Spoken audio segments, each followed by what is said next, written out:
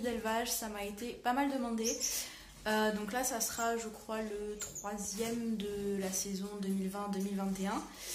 Euh, pour moi j'entame la deuxième partie de la saison puisque là j'ai formé des nouveaux couples avec des femelles qui sont nées chez moi l'année dernière mais qui étaient trop jeunes jusqu'à maintenant pour reproduire. Et vous allez voir que ça démarre plutôt pas mal. Allez, on va voir ça ensemble, c'est parti. Alors, donc premier couple. Donc ici on a une femelle qui est née chez moi l'année dernière. Donc une femelle bleue, poitrine lila, tête noire. Et le mâle, donc c'est un mâle bleu. Poitrine violette, tête orange, tête rouge. Alors, concernant ce mariage, euh, je sais, j'ai marié euh, deux oiseaux bleus. Alors, il y en a, il y en a quelques-uns qui disent qu'il ne faut pas marier deux oiseaux bleus parce que on risque d'avoir des oiseaux qui sont euh, par la suite dans les jeunes, des oiseaux qui vont être petits, qui risquent d'avoir des déformations génétiques ou quoi. Alors, ça c'était surtout euh, valable au tout début quand la race des diamants de Gould elle a été travaillée en France parce qu'il y avait très peu de souches. Voilà, et qu'il risquait d'y avoir de la consanguinité. À partir du moment où vos oiseaux ne sont pas consanguins, euh, il n'y a aucun problème à, euh, accoupler euh, deux bleus ensemble. Donc j'ai recueilli plusieurs témoignages d'éleveurs qui avaient fait ce type de mariage et ils ont eu des jeunes en pleine forme. Voilà, donc au début je l'avais mis avec une autre femelle bleue, ce mâle, mais le courant passait pas du tout si je puis dire. La femelle euh, l'appréciait pas en fait, elle avait peur de lui. Et je lui ai mis celle-ci. Donc maintenant ça doit faire il y a, je sais pas, peut-être 4-5 jours. Et ben, euh, avec celle-là ça va beaucoup mieux. Donc je vous montre ce que ça a donné déjà ce matin. J'ai eu la surprise, voilà, de voir un œuf dans le nid. Voilà. Donc c'est le mâle qui a construit le nid. Hein. Moi j'avais mis un petit peu de fil de coco en dessous, juste dans le fond, et lui il l'a amélioré. Hop. Je vais fermer ça. Voilà. Voilà, donc ce mâle pour l'instant cette année, euh, vous avez dû le voir dans les précédentes vidéos, et je l'avais mis avec une autre femelle, mais ça n'a rien donné malheureusement. À chaque fois, il m'a fait deux pontes, mais à chaque fois, les, petits sont, morts dans l'œuf. Donc voilà, assez dégoûté et je tente une dernière fois avec une autre femelle et on verra ce que ça donne. Ensuite, les amis, on a ce couple. Donc ces deux oiseaux sont nés chez moi l'année dernière. Donc femelle classique, porteuse de bleu, tête noire, poitrine lila. Et mâle vert pastel, poitrine violette. Voilà donc forcément, donc il est porteur de bleu. Euh, alors ceux-là, pour la petite histoire, c'est assez marrant parce que l'année dernière, quand ils étaient dans, dans, la, dans la cage où j'avais mis tous mes jeunes de l'année, ils se plaisaient déjà en fait. Ils se plaisaient déjà, ils chantaient et elle était collée à lui et j'avais dû les séparer parce que... Donc voilà, donc ils se plaisaient déjà et donc là ben, je, voulais les marier ensemble, donc il n'y a aucun lien de consanguinité entre les deux bien sûr. Et euh, ben, ça a tout de suite très bien fonctionné puisque je vais vous montrer. Hop. Voilà. Il y a 6 œufs. Oh, 5. Je sais plus compter. Il y a 5 œufs. Voilà. Et donc sur les 5 œufs, je les ai mirés. Il y en a 4 qui sont fécondés. Donc les petits devraient naître euh, la semaine prochaine.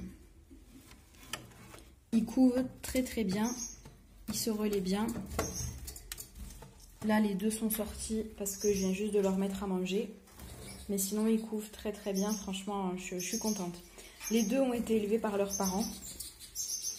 Donc voilà. Ensuite, ici, alors, donc ici, on a un couple mâle classique, tête rouge, poitrine violette. Donc c'est un mâle que j'ai acheté euh, dans une exposition bourse au mois de septembre-octobre. Voilà, un joli mâle avec une belle posture, un beau gabarit. Et il est avec une femelle euh, classique, tête noire, poitrine là. Donc je ne sais pas si les je ne sais pas s'il y en a qui sont porteurs de bleu dans le lot, ça sera, ça sera la surprise, voilà. Et donc là la femelle est au elle est en train de couver. Ils ont 4 ou 5 œufs je crois, pour l'instant je ne les ai pas mirés donc je ne sais pas s'ils sont bons ou pas. Allez donc là je vais vous montrer les deux cages qui en haut. Je vous reprends tout de suite le temps que je monte sur mon escabeau. Allez les amis, donc ici j'ai euh, mes petits mandarins, donc ils m'ont fait la nichée précédente de mâles classique. Voilà, et donc là euh, ils me font la deuxième nichée euh, de cette saison, après je vais les mettre en pause. Et alors cette nichée j'ai eu une belle surprise parce qu'en fait ils m'ont fait 6 œufs, et sur les 6 œufs, les 6 sont fécondés. Alors c'est la première fois qu'ils me font ça, d'habitude ils me font 2, 3, 4 œufs, mais pas plus. Et à chaque fois sur le lot, il y a toujours un œuf ou deux qui est clair. Quoi. Et ben là, non. Là, les, les six sont fécondés. Et euh, voilà. Et aujourd'hui, je crois qu'il y en a deux qui sont nés. Voilà, donc là, la maman est en train de couver. Je veux pas les déranger.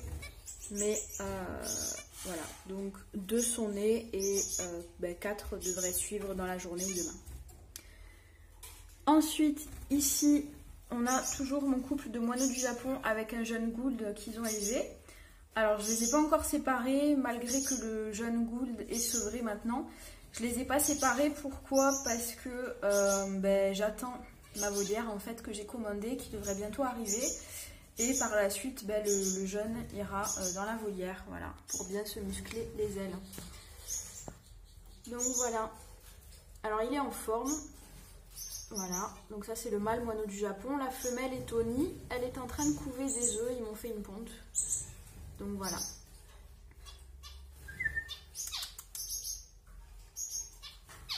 Voilà.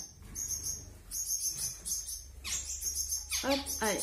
On se retrouve pour la suite pour voir la batterie qui est juste ici.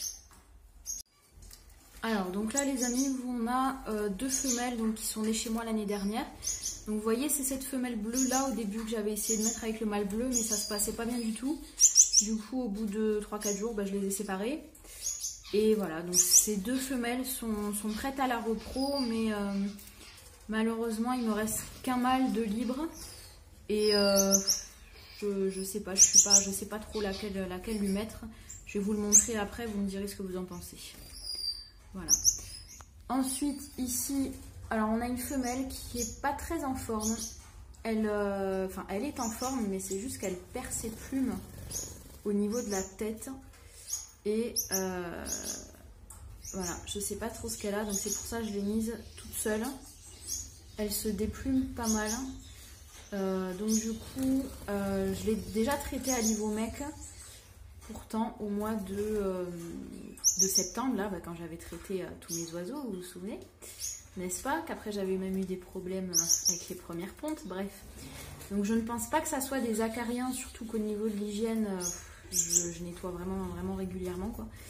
Donc euh, je sais pas. Je pense que hum, je vais peut-être lui mettre des vitamines dans l'eau pour que les plumes repoussent, style Necton biotine. À voir. Mais en tout cas, celle-ci, bien évidemment, elle ne reproduira pas tant qu'elle ne sera pas remise sur pied. Voilà. Ensuite, les amis, ici, on a un couple, donc femelle classique, poitrine lila, tête noire. Euh, elle est avec un mâle classique porteur de bleu, tête noire, poitrine blanche. Donc eux, je suis super contente. Ils m'ont fait 5 euh, œufs. Et sur les 5, pareil, il y en a 4 de cochers. Et euh, voilà, normalement les petits devraient naître aujourd'hui, voire demain. Mais voilà, pour l'instant ils couvrent très très bien, ils se relaient très bien au nid. Donc je suis contente. Ils ont déjà reproduit l'année dernière et euh, bah, ça m'avait donné une jolie femelle. Voilà. Donc à voir ce que ça va donner cette fois-ci. Ensuite ici, alors j'ai mon couple de jaunes, vous vous souvenez, qui avait des œufs je crois la dernière fois. Enfin non, non, je crois que la dernière vidéo ils avaient déjà les jeunes. Et donc maintenant bah, les jeunes ils ont bien grandi. Donc ils sont sortis du nid, donc trois jeunes jaunes. Voilà, qui sont très très beaux, qui qui sont bien en forme, bien vifs. Voilà. Donc les parents nourrissent très très bien, je suis vraiment contente.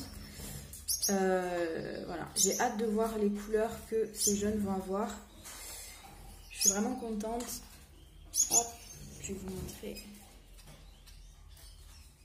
Comme ça, vous les voyez un petit peu mieux.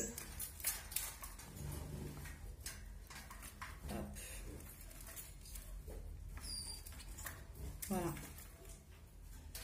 Les trois jeunes. Avec leurs parents.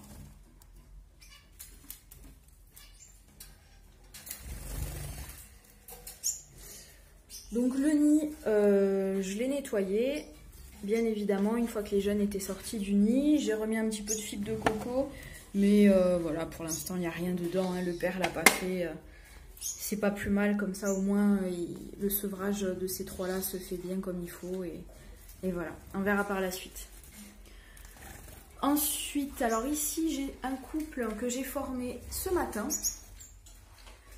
Voilà, donc une femelle bleue, poitrine blanche, tête noire et un mâle jaune, simple facteur, poitrine blanche, tête noire aussi.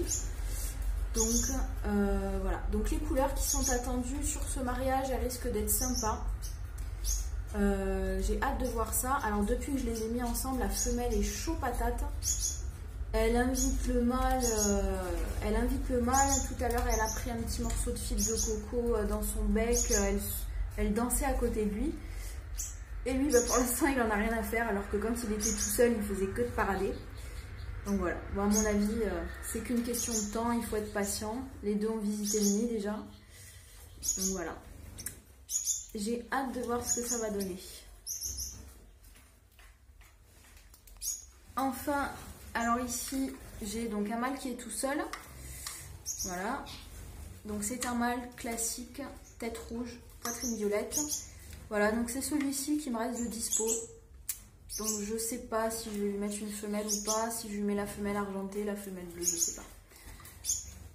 Ce qui me chagrine un peu, c'est que j'avais déjà essayé de le faire reproduire en début de saison et qu'il m'avait fait à chaque fois des, œufs fécondés, mais qu'en fait il couvait pas du tout. Donc euh, je sais pas. Il couvait pas du tout. Donc euh, il m'a donné. J'ai eu deux jeunes quand même grâce à lui qui ont été élevés par les moineaux du Japon, mais mais voilà. Je, je sais pas. Je sais pas ce que je fais. Dites-moi ce que vous en pensez en commentaire. Alors, ici, donc toujours le même couple depuis le début de la saison. Donc mon mâle, jaune, simple facteur, poitrine lilas, tête rouge. Et ma femelle bleue. Donc là, elle est Tony. Alors elle est Tony parce que je suis très contente. Ils m'ont enfin refait une deuxième ponte.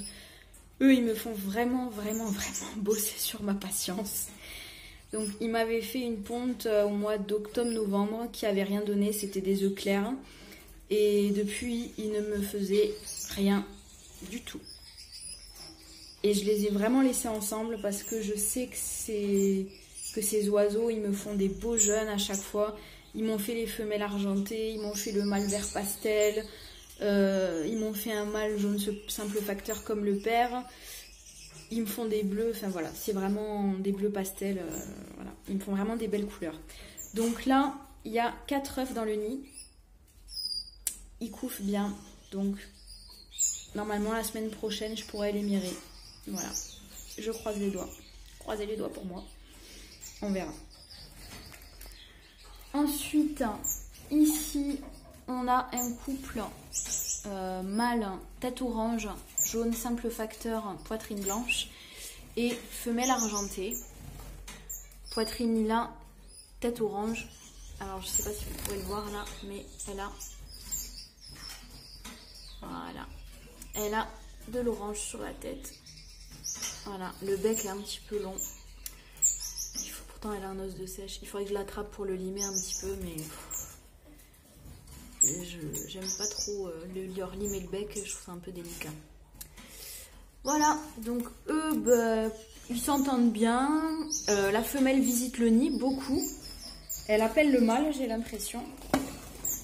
Mais euh, pour l'instant, il n'y a rien. C'est vide. Voilà. Donc on attend et ben, on patiente. Hein. On verra après ce que ça donne. Voilà, et enfin, euh, mon couple de papes de Nouméa. Alors eux, ils m'ont fait deux nichés. Euh, première nichée, je sais pas si vous vous souvenez, donc il y avait des œufs qui étaient fécondés, mais ils les avaient balancés du nid. Ils m'ont fait une seconde nichée, cette fois-ci je les ai euh, complètement laissés. Je leur ai fichu la paix. Et en fait, euh, il s'est avéré que c'était des œufs clairs. Voilà. Donc là, le mâle a, re, coché la femelle il y a quelques jours. Et ben, je sais pas s'il y a quelque chose dans le nid ou pas, j'ai pas regardé, je veux pas, je veux pas trop regarder, j'ai trop peur qu'ils me rebalancent les, petits, les œufs. Donc voilà. Bon écoutez les amis, j'espère que cette vidéo euh, suivie d'élevage vous aura plu. Si c'est le cas, n'hésitez pas à me laisser un pouce bleu et si cœur vous en dit, à vous abonner à la chaîne. Euh, dites-moi en commentaire quelle femelle vous pensez que je peux mettre avec ce mâle là, tête rouge, poitrine violette. Ou si euh, je lui en mets pas. voilà. Moi j'avoue que je serais peut-être pour pas lui en mettre parce que je suis pas emballée. Je suis pas emballée par les deux mariages qui sont possibles, mais bon. Dites-moi en commentaire ce que vous en pensez. Voilà, et allez, je vous dis à bientôt pour une autre vidéo.